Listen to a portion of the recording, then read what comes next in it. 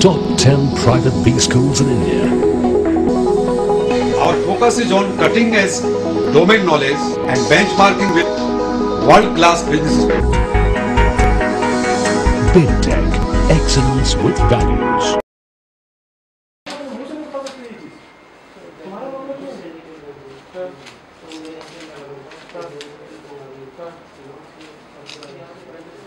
पकड़ा गया जो ग्रेटर नोएडा का इस समय सबसे सक्रिय गैंग था।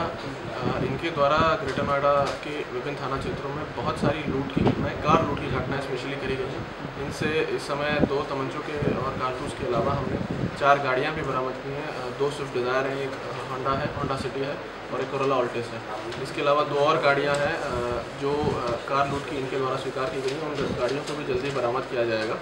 और उसके अलावा एक आई ट्वेंटी गाड़ी है, जिससे ये घटनाओं को अंजाम देते थे, उसको भी बहुत जल्दी रिकवर किया जाएगा। चार लोग इसमें पकड़े गए हैं। ये गैंग काफ़ी बड़ा गैंग है जो अपने लड़के बदल बदल के इस तरह की घटनाएँ करता था और पिछले दो तीन महीने से लगातार जो कार लूटी घटनाएँ हो रही थी वो लगभग सभी घटनाएँ इसी एक गैंग द्वारा की गई हैं। और जितनी कार लूटी घटनाएँ हो रही थी उसमें 80 परसेंट घटनाओं में कार रिकवरी भी हो गई है और बाकियों में भी बहुत जल्दी कार रिकवरी की जाएगी।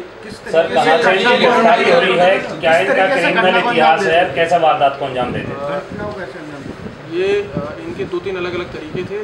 जैसे ये लड़के एक घटना ऐसी है जिसमें ये छः लड़के हैं बाइक पे आए हैं उसमें तीन लड़के बाइक से उतर जाते हैं बाकी तीन लड़के आते हैं और गाड़ी को लूट लेते हैं।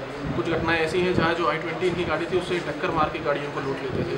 कुछ ऐसी घटनाएँ हैं जहाँ ये पैदल चल के गाड़ियों को लूट लेते हैं इनके तरीके बदलते रहते थे और जो सरगना है वो अपने साथ जो लड़के हैं उनको बदलता रहता था। ये क्या ये वारदात भी बदलते थे? ग्रेटर नोएडा में इन्होंने लूट की है नोएडा से इन्होंने लूट की है विभिन्न जो अलग अलग जगहें हैं वहाँ से लूटें करते थे।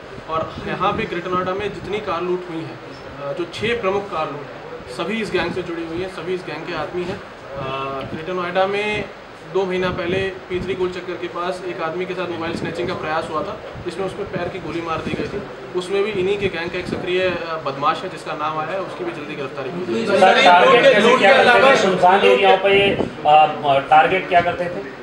इनका प्रयास यही रहता था कि ऐसा एरिया हो जहाँ पे बहुत ज़्यादा भीड़ भाड़ ना हो और जहाँ ऐसी कोई मूवमेंट ना हो कि जल्दी से कोई वो हल्ला मचे या कोई इनको पकड़ने का सर लूट के अलावा कोई और बड़ी वारदात करते थे ये लूट के अलावा कोई और लूट की घटनाएँ हैं और इसमें जो अपराधी हैं उनमें सबका अपराधी इतिहास है और कुछ ऐसे अपराधी हैं जो दो दो तीन तीन साल पहले मर्डर के मुकदमों में भी जेल जा चुके हैं।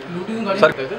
और उसमें यदि कभी ऐसा होता था कि पुलिस चेकिंग में कहीं गाड़ी इनको लगता था कि पकड़ी जाएगी या मिल जाएगी या इनके ऊपर बात आ सकती है तो एक गाड़ी को इन्होंने जलाया और बाकी गाड़ियाँ ये लावारिस छोड़ देने का प्रयास किया। इसे ऐसे कहा जा सकता है कि पुलिस की सख्ती के चलते ये लोग लूट कर गाड़ी को छोड़ना भागते थे।